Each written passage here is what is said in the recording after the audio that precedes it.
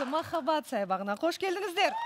Біз- біздің мерекелік шығарылым талай әңгімелерге де қызықтарға да сыйлықтарға да толы болмақ. Ендеше бастайық.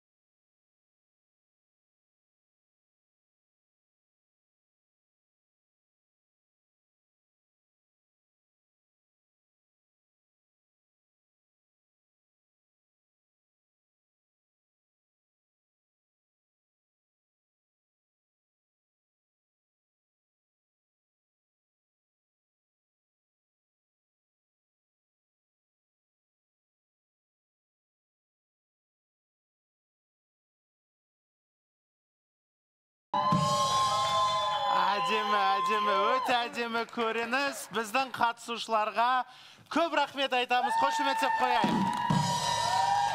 Қандай әдемі көрініс. Иә айттым ғой құрметті көрермен. Бүгін бізде мерекелік шығарылым. Тосын сыйлар мен әңгімелер көп болады деп ендеше жарнамадан кейін әңгімелерімізді бастайық. Алыстамаңыз.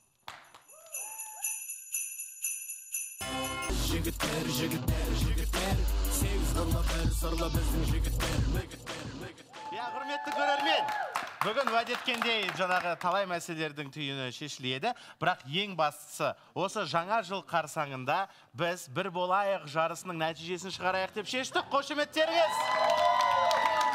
Бірнеше күн бойы жігіттер ең мықты ең мерген ең төзімді ең алғыр жігіт атану үшін сайысты тоғыз жігіт сайысты тоғыз орын бар бірақ ең алғашқы үштік ерекше сыйлықтармен марапатталады. Бірақ сыйлықсыз ешкім кетпейді. Иә жаңа жылда міне конвертіміз дайын ашайын. Жаңа жылда бұл дүние ерекше ереніп ескерілгені жөн деп ойлаймын. Әуелгі баста. Мхм. Мен былай жасайын иә? Әуелі үш орын болады жігіттер. Бірақ дей келе сыйлықсыз ешкім кетпейді деді ғой- дедік қой иә? Ендеше әр қатысушыға бір болайық жарысы а тұра тұр тұра тұр олай болмайды онда біліп қояды. Жоқ жоқ жоқ біліп жоқ, жоқ, қояды иә. онда былай жасайық. Тоғыз жігіттің ішінде сайысып 39 ұпай жинаған. Соңынан санағанда соңғысы. Айсажан. Кім деп ойлайсыңдар кенже соңынан данияр және данияр саған сыйлықсыз қайтпасын деп әдейі арнайы отандық өнім мырза брендінен мынандай камзол кигіземіз. Киіп көр киіп көр. Және мынаны мынаны бүйтіп арқасын былай көрсет. Міне құрметті көрермен бір болайық барысы атағына сен де иелендің бір болайық барысына қатысқан әр ер азаматымызға ұлттық ою өрнекпен көмкерілген қазақи нақыштағы заманауи үлгідегі шапандарымызды сыйлаймыз. Жарыс басталғалы бізге қолдау көрсеткен мырза брендс ұжымына алғысымыз шексіз. Даниярдан кейінгі қырық ұпай жинаған ұлықбек емес айсажан да емес кенже кенже. Кенже! Емес кенже емес тұра тұрыңыздар. Димаш! Мен димашты жеңімпаз бола ма? Алғашқы үштікте бола ма деп ойладым бірақ дей келе бұл да жаман нәтиже емес саған да мырза брендінен бұйырған бір болайық жарысы деген жазуы бар камзол.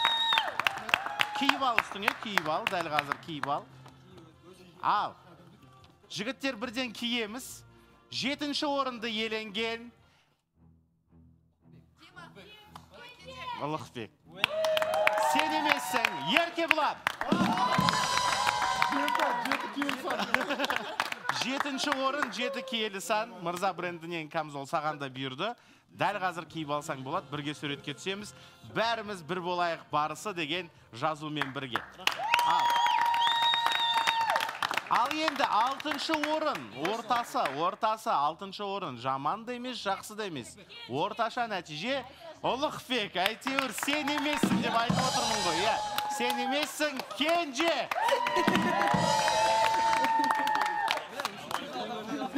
Бір болайық барысы ә, жарысына қатысқаныңды мәңгілікке есте сақта киіп ал қазір. Қошеметтеп қояйық кенжеге. Енді бесінші орын иә? Бесінші орын бесінші орын. Ұлықбек үнсізсің ғой. Дәл ұлықбекке келгенде неге үнсіз қалдың? Точно ма? Кеш. Сен емессің бесінші орында айсажан жоқ жоқ жоқ тұра тұр тұра тұр тұра тұр мына мынау сенікі мынау сенікі бір болайық барысы бірден өзіңнің үстіне киіп ал қазір суретке түсеміз қошеметтеп қояйық айсажанға төртінші орын өте маңызды орын өйткені қазір бұл есім аталғаннан кейін алғашқы үштік анықталады иә точно сен ба шыға бересің ба ұлықбек тағы да сен емес деп айта алмаймын. Шын мәнінде төртінші орын ұлықбектікі ала ғой өзім ресми түрде саған табыстайын ішіндегі камзолды шығарып үстіңе киіп ал. Ал енді бізде шах мырза мынаны сізге тапсырайын. Үш жігіт қалды. Жетпіс төрт ұпай сексен алты ұпай және жүз ұпай сонымен үшінші орын иеленген бір болайық барысы сайысында үшінші дәрежелі диплом алатын. Ақанай. Сен емес па бақдәулет деп ойлайсың ба? жарайды. Бір болайық жобасының ұйымдастыруымен өткен бір болайық барысы байқауында үшінші орын иеленген әлімбек олжас марапатталады. Олжас саған міне мына бір болайық барысының шапаны елде камзол болса сенде шапан.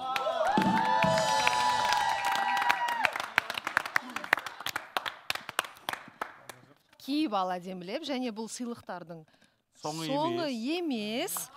көрсетші ар- артын көрсетші артын Кәне, ох қандай керемет. Бір болайық барысы біздің үздігімізге джим пойнт алматы жаттығу залына үш айға тегін сертификатын табыстаймыз. Иә үш айға. Құтты болсын.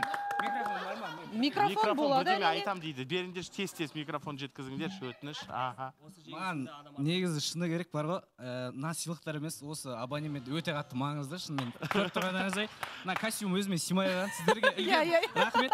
Бірінші орын алсам да осы сертификат берсеңіздер риза болатын едім. Керемет ендеше жаңа жылда жаңа олжасты күтеміз. Екі орын қалды. Сонымен бір болайық жобасының ұйымдастыруымен өткен бір болайық барысы байқауында екінші орын иеленген бір болайық барысы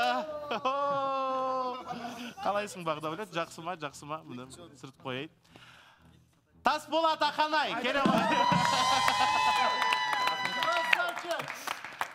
мына шапан саған бұйырады және бұл сыйлықтың соңы емес камила айтқандай Иә, жұмыстан шаршап келгенде жаныңызға жайлылық сыйлайтын аяқ массажерін алдыңғы қатардан көрінген қатысушыға самұрық групп өнімін сыйға ұсынамыз. Мынау сенікі.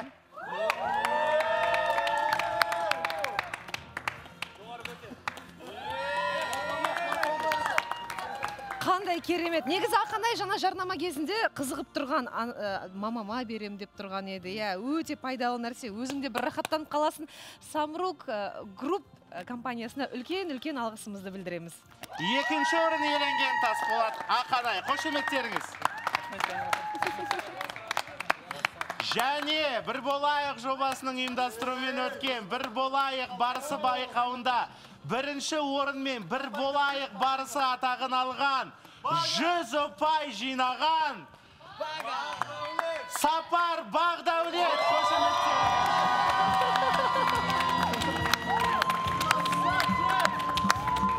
жігіттер әрқайсысының киім өлшемдерін алып алдық және арнайы мына шапанды мырза брендтен бағдәулетке сай болсын деп үлкен пішінде тапсырыс бердік.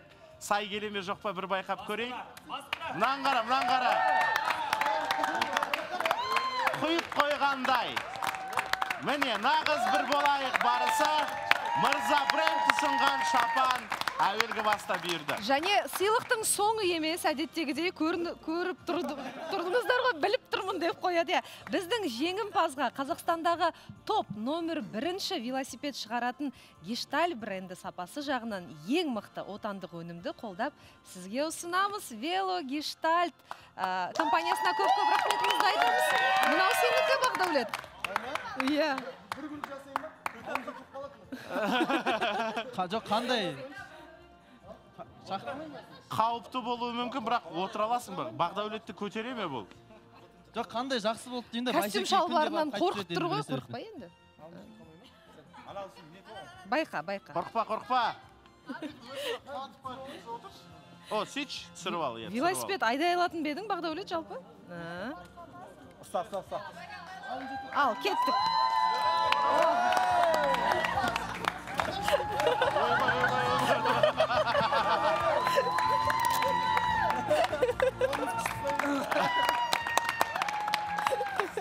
Міне бір болайық барысы байқауының нәтижелері осындай. Бізге ат салысқан және жәрдемдескен барша демеушілерімізге рахмет айтамыз. Жігіттер жарайсыңдар. Бұндай сайыстар әлі жалғасады. Қазір шағын жарнама жарнамадан кейін тағы тосын сыйларымыз бар.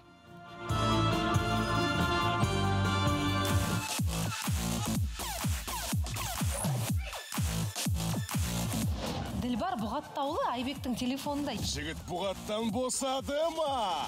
Сен алты айдың ішінде көзге көрінетін бір зат берген жоқ дейді. Осындай қылықтарың осындай сөздерің ұнамайды маған бар ғой жыныма тиеді. Әйбектің ашуы басылды ма? Жұмыс істеуің керексің ер азамат деген өмір бойы жұмыс істеу керек. Эфирдің сыртына қолынан ұстап шоуыма жақындама ер азаматқа деді. Айбек қашанға дейін ренжіп жүре бересің енді? бір татуласайық үйленейін деп жатырмыз ғой. Бірде көл бірде шөл мінезді ділбар дегенін істеткізе ме сәлден кейін бір болайық.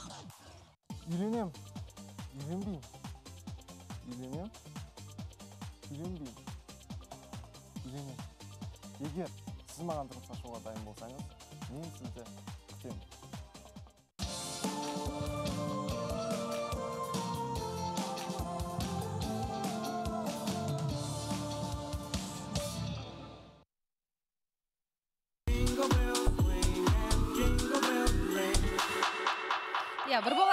бойынша марапаттау э, аяқталды. Жігіттерімізге тағы да бір рет қошеметтеп қойсақ болады. Және енді жаңа жыл қарсаңында шешілмеген мәселелер қалмасын деген ниетпен бір сұрақты иә талқылау бүкіл түйіндерді шешу керек деп ойлаймын. Әрине ол енді айсажан мен мединаға тиесілі. Кеше ә, оңай күн болған жоқ иә сендер үшін. Екі микрофонды екеуіне жеткізбесеңдер қазір әңгіме үйлеспейді болмайды. Екеуінде де екі микрофон болсын өтініш. Көңіл күйлерің қалай келе жатқан жаңа жылдарыңмен? Саламатсыздар ма? Рахмет. Иә сіз тоже с наступающим барлықтарына с наступающим новым годом. Иә жақсы бәрі. Көңіл күй? Жақсы. Медина? Ә, рахмет сіздерді де келе жатқан жаңа жылдарыңызбен құттықтаймын. Менде көңіл күйім керемет. Көңіл күй ә, жақсы болғаны дұрыс қой өйткені жаңа жылды қалай қарсы алсаң тура солай ә, жаңа жыл өтеді деген сияқты сенімдер бар ғой. Бірақ дей келе шешілмеген бір түйін бар. Көп көрермендер ойлайды екен бар ғой осы медина мен айсажан қосылғанын шақ жеке өзі жеке басы қаламайды деп. Жоқ негізі бар ғой екеуі де 18-ден асқан кәдімгі өздері үшін шешім шығара алатын. Ресми дәрежесі бар тұлғалар. Бірақ дей келе біздің тараптан ақыл айту және кеңес айту парыз. Әйтпесе не үшін бұл жобаны ұйымдастырып жатырмыз? Дей келе шешілмеген кеше бір мәселе бар жанелге байланысты. Ойландыңдар ма толғандыңдар ма? Кеше талай сөздер болып еді. Қорықпаса келсін деген. Иә біз бір шешімге келдік мединамен. Енді жаңа жыл келе жатыр келіп жатыр. Сол үшін ә, негатив барлықтарын сызып қояйық.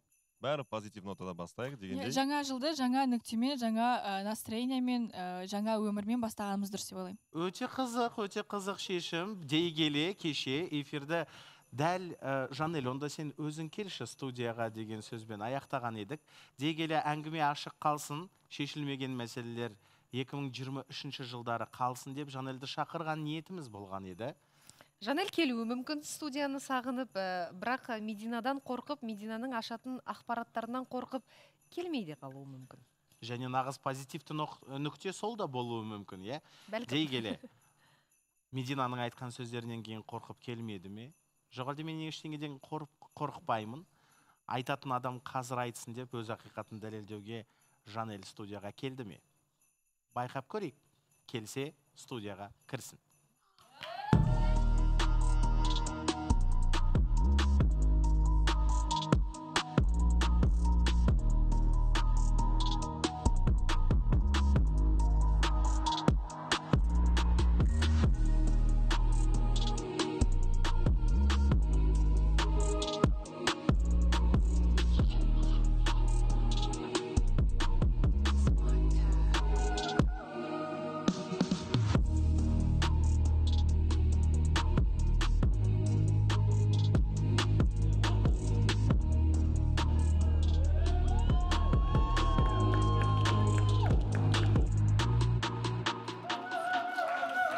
Жанель жайғаса ғой әзірше үміткер орындығына.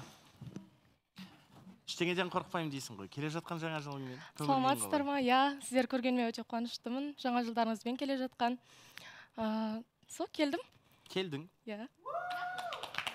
Келгенде ә, қандай ниетпен келдің? Қандай мақсатпен келдің? Ә, кеше айтқанда қорқатын ештеңем жоқ сол себепті келген болатын қорқатын ештеңең жоқ. Иә. кез келген сұраққа жауап беруге дайынсың. Иә. Сұрақ ыңғайсыз болса да. Әрине. Және қауіптің дәрежесін түсініп отырсың иә? Иә түсініп отырмын оның барлығын. Мен бұл жерге қазір бүйтіп мына жаққа кіріп алып бүйтіп ұрысу үшін келген жоқпын негізі бірақ. Бірақ дей келе өзіңе қойған сұрақтарға тікелей жауап беруге тиесілісің. Иә әрине. Және бүгінгі әңгіменің нәтижесінде сенің жанкүйерлерің бір сәтте сенен бас тартуы да мүмкін. Өйткені кеше жанкүйерлеріңнің бірімен сөйлескен кезде екі минутқа айсажан назарын жанелге аударса жанел шыдай ала ма? Қалай ойлайсыз дегенде сеніммен иә деп жауап берген еді. Егер шыдамаса егер тағы да бір былық шықса егер тағы да бір әңгімелер шықса онда өзі балы өзіне деген сияқты сөздер айтты. Иә оның барлығын естіген болатынмын. Жаңа эфирді көрген болатын үйге барып тағы да қайталап көрдім. Ә, мен өзім эфирде айтқанымдай жүгіріп бармаймын айсажанға қанша жерден шақырса да. Ал өзі жүгіріп келсеші келмей ақ қойсын. Келмей ақ қойсын деген ниетіңнен айналайын бірақ келсеші келсе сол күйінде қалады да. Деген сөзді сеніммен айт. Иә әрине шах мырза мен бұл жерден кеткен кезде айтқан болатынмын аузым күйді уже сендім деп енді дальше смысл жоқ деп ойлаймын. Ендеше әңгіменің негізіне көше берейік сонымен медина. Қорықпаса келсін дедің. Иә кеше сондай әңгіме болатын бірақ та әм, кеше сол әм, ақпарат айтып кеттік қой. Ә, ондай қорқатын дүние деп ойламаймын. Ә, сол себепті жанель сен көргеніме өте қатты қуаныштымын. Мен де. Ә, с наступающим. Сені жаңа бақытын тапқаныңды қалаймын. Негізі соңғы күндері расымен де бір құрбы сияқты болып кеткен сияқты едіңіздер ғой екеулеріңіз. Одан кейін жанель кеткеннен кейін қайтадан араздасып қалдыңыздар. Не себеп болды соған? Түсінбей негізі жанель екеуміз ұрысқан жоқпыз. Ә, Иә. Жанель кетті. Сонымен сәлеміміз түзу болып қалған болатын. Ә, онда ешқандай наразылығымыз жоқ. Ә, тура жанель қалай қандай қыз ретінде алдында да осы жақта шығып бара жатқан кезде қабылдадым. Тура сондай көзқараста әлі отырмын. Кешегі сөздер демек бізге елес болды яғни айтылған жоқ. Жоқ айтылды ғой. Ә, бірақ та сол ақпаратты айсажан кеше айтып берді ғой. Қандай ақпарат болғанын ә, ондай күрделі ақпарат деп ойламаймын. Күрделі ақпарат деп ойламаймын. Шыныңды айтшы шын ниетіңнен. Ә, жанелдің келгені сенің арақатынасыңның сенің махаббатыңның ауа райын өзгерте ме Ә, менің ойымша ә, қазіргі уақытта ә, өзгермейді деп ойлаймын. Қазіргі уақытта деген қай қай уақытта? Ну ә, қазір көбісі енді ә, ойлап жатыр ғой айсажан бәлкім жанелге кетіп қалады деген сияқты. Бірақ та ара қатынас екеумізде тоқтаса ой ә, қалай айтсам болады? Жоқ ә, кеше де мысалы болды ғой әңгіме ә, мединаға үйленесің ба точно аласың ба басыңды кесіп беремін деген әңгіме сияқты.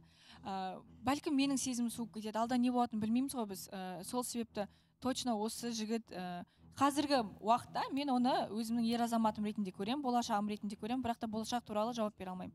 История повторяется. Шахмырза рұқсат мен бір байқап тұрмын мына айсажанның аяқ қол дірілдеп отыр ше бағанадан бері мен де байқап отырмын мариям да байқау су ішкен сайын қолдары аяқтары дірілдеп отыр. Неге өйтіп отырсың айсажан жоқ суық просто бұл кішкене холодно. Жоқ кішкене холодно. Жоқ дәл қазіргі жағдай Жанель, медина кіріп сәлем. келген кезде нормально. дірілдеп жатқан жоқ нормально бәрі. Вот. жаңа жылда менің ойымша мейлінше шынайы ә, эмоциялармен шынайылығыңмен қарсы алған дұрыс. Шын мәнінде егер жанелдің келуі менің ә, енді бастаған жаңа жолыма кедергі болады деген ниеттер болса оны ашық айтқан дұрыс. Барлығың бір бірлеріңе ашық пікірлеріңді арттарыңнан емес беттеріне айтқандарың дұрыс қой. Енді шын айтсақ шах мырза иә? Ә, кедергі болады деп ойлаймын. Бірақ ә, ол мен тарапынан емес жанель тарапында емес допустим бір ә, допустим қызғаныш сезім болады да. Мединада жүз пайыз біз бір жерде қатысушылармен жиналсақ жанель барса мен бармаймын дегенде сен барсаң жанель бармайды дегенде и менің ойымша болашақта біз бөлініп кетеміз. Кім кіммен араласады өйткені менің ойымша қыздарды енді айтпайды көрсетпейді бірақ қызғаныш сезім болады. А я не хочу чтобы медина сезім маған суық болып кетті.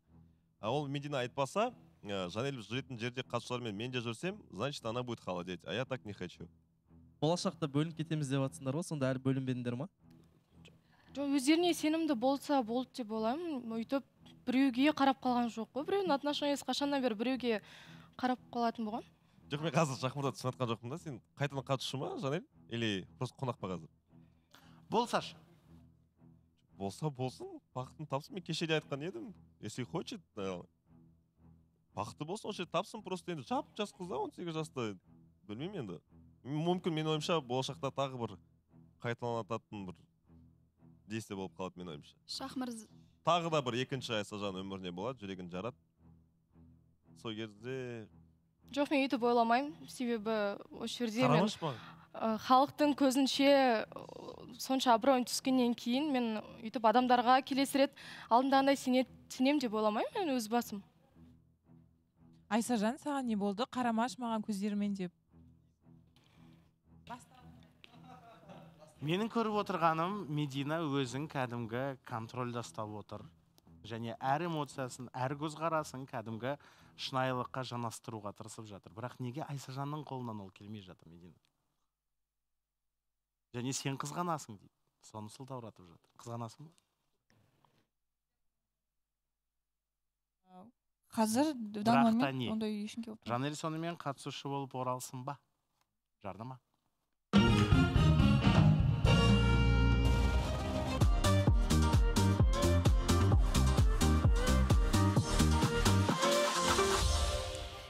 ескі жылда шешілмеген мәселелердің барлығы қалсын деп ә, студияға жанельді шақырған болатынбыз. Кешегі эфирде және жанель ешқандай қорқытуларға қарамастан келді. Мен бәріне дайынмын дейді. Ешкімнің айтары жоқ болып тұр бірақ дей келе. Білмеймін енді айсажан неге сондай эмоция беріп отыр? Ә, медина неге неге деген сұрақ енді барлығымыз білеміз ғой айсажан ә, өзі нестабильный екенін ә, қыз көрсе болды соның артынан кете беретініне. Ә, негізі мен жанельге ә, ешқандай ә, пр- предъявам жоқ. Қарсылығың жоқ. Қарсылығым жоқ иә. Ә, бүкіл қарсылығым барлығы айсажанға айсажанға кеше де айтып кеткен болатын. Кішкене осыны сенімді емеспін. Яғни сенде күдік бар егер ә, мысалы жанель қайтып келетін болса айсажан қайтадан жаңағы бәлкім бір қадамдарын жасап бір қырындау сондай болатын шығар айсажан жоқ бұл жерде енді история повторяется болып жатыр ғой енді. Тура осындай жағдайда сен де болғансың жанель де болып жатыр мен де болғанмын. Бірақ айырм разница бар да бұл жерде шах мырза? Жанельмен отырғанда осы жерде медина кіргенде мен айтқан едім.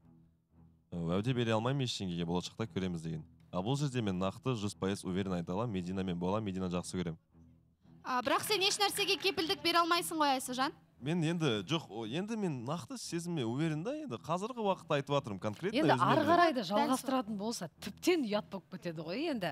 Иә. қайтадан бұл ә, хикаяны Камила жалғастыратын болса енді ешқалай ақта- ақтала алмайды. Сондықтан тоқтағаны дұрыс сияқты жігіттің Бірақ бәрі. бұл жерде енді айтып жатыр ғой қазір бота бота қазір жаңа жыл деп жатырмыз ғой енді. Ол бірақ жанель түсініп жатқан жоқпын сен шынымен де. Жоқ өзіңді қинауға келдің ба өзің бүйтіп бәрібір ғашықсың ғой дейсің ба? Иә бәрібір ғашықсың ғой Жоқ. маған жоқ не үшін қинап жатсың ба жүрегіңді мен өзімді қинау үшін келген жоқпын өзім қиналып жатқан да жоқпын. Егер мен қиналатын болсам мен де жынды емеспін. Ғой қайтадан келіп айтшы Айс, мен қайтадан есім шығып кетті ма жүрегіңнен иә. Білмеймін Сенбейсің ба? сеніп жатқан жоқ жоқ ә, ойлап жатқан шығар мына жерде өзім қинау үшін келдім деп айтып отырсың ғой мен өйтіп өзім қинау үшін келмеймін. Мен сендерге честно сказать бақыттан басқа дым тілемеймін. Бірақ сен өзің байқамай мүмкін қиналып қаласың. Мен қателесесің айта кетсем бола ма? Ә, сырттан қарап отырмын ғой енді алдынан бері қайтадан ә, тарих қайталанып жатыр ғой. Ә, айс тура осы сөздерді сен алдында да мединаға айтқан болатынсың екі қыздан көріп отқаным менің тек қана бірақ ә, не бар? Аттарыңызда ғана айырмашылық бар қалған айырмашылық көріп тұрған жоқпын. Бағана айтып кеттім ғой данияр айырмашылықты мен айтып кеттім бағана. Айс. бағана айырмашылықты айтып кеттім естімеген болсаң. Жанелмен отырғанда уәде берген жоқпын. Мединамен отырып уәде беріп жатырмын сен уәдеңді алдында да бергенсің қоя, қоя салшы сен уәдең деген бес тұрған онда сұрақты тікелей қоя салайықшы мысалы. Сендердің жұптықтарың тоқтады айсажан мединамен жұп болды бәрі керемет болып жатыр. Сұрақ нөмір бір жанелге. Саған айсажанның мединаға деген сезімі шынайы ма жоқ па? Оны білудің не қажеті бар не үшін? Бұл сұрақтармен айсажанға хабарласасың. Сұрақ нөмір екі айсажанға. Жанелдің орамалы ғана емес сонымен қатар білмеймін бір көлігі қалса да сенің қолыңда неге сен оны жеке кездесіп қайтаруың керек? Қасыңда медина бола тұра. Иә, мен жауап беріп кетейін. Мында айтып отырсыздар ғой неге хабарластың деген сияқты. Бұл жерде енді шах мырза сөзін шыны керек мен ішімде сұрақтар қалып қалды да осы жақтан шығып бара жатқан кезде де мен осылай шығып кетсем деп ойлаған жоқ едім сол кездері. Ә, ешкім күтпеді мен де күтпедім да. Мен үшін ол прям ұйықтап жатқан кезде үстінен с- жаңа суық су шашып жібереді ғой, сондай болды да Ә, содан кейін мен ішімде сұрақтар қалқаннан кейін жай ғана сол сұрақтарды қойғым келді. Неге бір күннің ішінде барлығы солай болды деген сияқты. Неге бір күннің ішінде барлығы жақсы бола келе ә, мен теріс айналып кеттім деген сияқты сұрақтар болғаннан кейін қазір жауаптар керек па сол сұрақтарыңа или уже қызық емес па? Қазір керек қазір уже керек емес. Жарайды. Және егер мысалы айсажан айтса мединаға сенімді емеспін. Яғни сезімдеріме сенімді емеспін десе не болады жүре берсін сенімсіз болып солай. Ай, маған өзіме сенімді адам кейбір керек. сұрақтардың жауабын естуге дайын болмасаңыздар не үшін қоясыздар ол сұрақты жоқ шах мырза ол кезде жауап берді ғой сенімдімін иә деп. Содан кейін звонокпен вообще білмеймін деген сияқты айтты. Одан кейін мен сол кезде түсіндім да мына өзіне не керек екенін әлі де түсінбей жүр ғой деген сияқты. Осы жерде отырып мединамен таныстық тоқтатқан кезде мен адасып жүрмін деген әлі адасып жүр ма адасып сен сұрақтар шах мырзаның қойған сұрағына бір қызық жауап бересің. Жаңағы сұраққа айсажан не істесін? деген сұрақ емес ол. Жүре берсін солай деп жауап беру маңызды емес. Не үшін сен сен не істейсің ондай жағдайда? Бұл ситуациялық сұрақ. Егер айсажан ертең қайттан қырындап бастаса сен не істейсің? Басында менде хабарласқан кезде сәл болсын үміт болды. Бірақ жаным қазір тоқташы. Ештеңе істемеймін Болашақта. камила ханым. Камила ханым ештеңе істемеймін ештеңе не ол істемеймін. ештеңе істемеймін деген ештеңе істемеймін деген мүлдем наз- назар аудармаймын полный игнорға тығып тастаймын. А біз қалай сенуіміз керек сенің ол сөздеріңе? Ну мен өйтіп мен уәде бере аламын. Яғни айсажанмен кез келген байланыс түрін егер біз көрермен көріп қойса? Иә әрине. Сіздер нақты мына жаққа шығарып осы жерде отырып маған қаншама сөз айтсаңыздар да болады. Мен ол кезде ақталуға да тырыспаймын сол сөзді естіп. Сіз айттыңыз ғой кеше мынандай абыроймен кетсе мынандай абыроймен кетеді дальше деген сияқты. Егер дәл сондай жағдай болатын болса мен Бірақ сен дайынмын дәл иә. сол жағдайын қайталан деп жатрсың ғой жанель жүре бермедің ба? Сыртта кітап оқып сабақ істеп жұмыс жасап он сегіз жас жап жас қызсың ғой сен қадам жасамасаң қайталамайды ғой. Саған байланысты мен, мен дүние өзім ғой айтып оның жатқан жоқпын барлығы камила ханым басқа жігіт тура осындай мен сияқты жігіт келеді да жүрегін жаралады да е давай дейді потом. Отырады сосын тағы жылап. Медина жаңағы сұрақ саған сонда өмір бойы кешіріңізші шах мырза. Өмір бойы ешкіммен таныспай бірақ ә, өмір жоқ бойы ешкіммен өзін дамытсын деймін да камила ханым. Өзіне уақыт кө- уақыт берсін мына жерде енді. Бай іздемесін дегенде қалай айтады енді.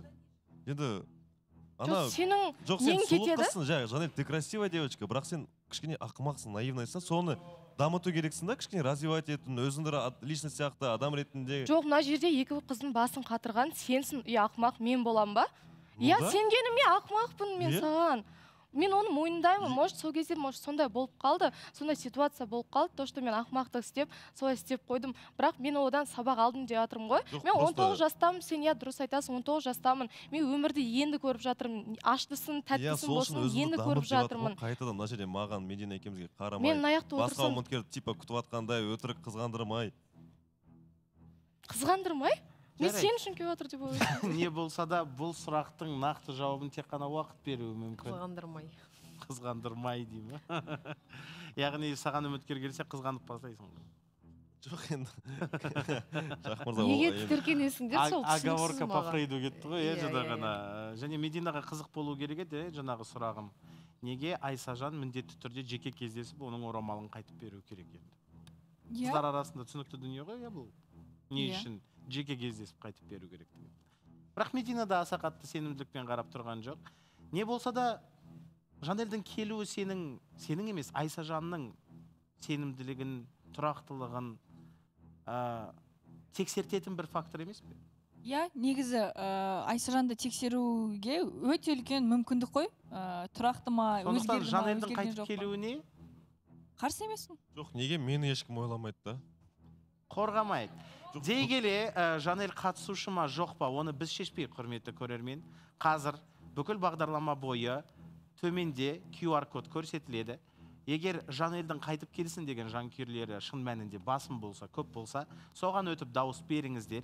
Егер дауыс саны қайтып келмейсін дегендерден асатын болса қатысушылығын қарастыра жатармыз. Егер аспайтын болса онда жанель қатысушы болып қайтып келмейді. Иә. және бұл шешімді құрметті көрермен сіздер шығарасыздар. Қайталап айтам төменде көрсетілген QR код бойынша дауыс берсеңіздер болады. Дауыс берудің нәтижесі 31 желтоқсан сағат 23.59-ға дейін жалғасады және жаңа жылда шешімді бірге көреміз. Жарнама.